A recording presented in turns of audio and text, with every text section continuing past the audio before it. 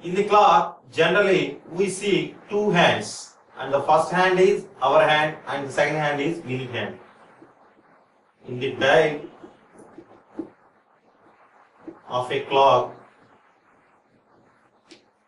long hand is minute hand,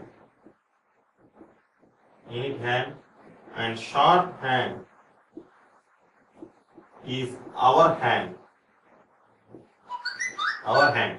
Generally in clocks we have two hands. The long hand indicates minutes and the short hand indicates hours. And uh, in so many clocks uh, we show another hand is there that is second hand.